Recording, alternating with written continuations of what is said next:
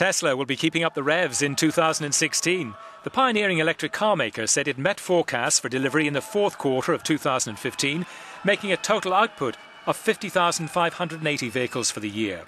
Deliveries of the company's new electric sports utility vehicle, the Model X, are also in line with Tesla's early stages of the production, it said.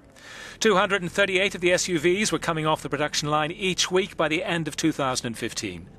Investors are counting on the Model X, which has been designed to compete with other luxury cars, to make the company profitable after years of losses.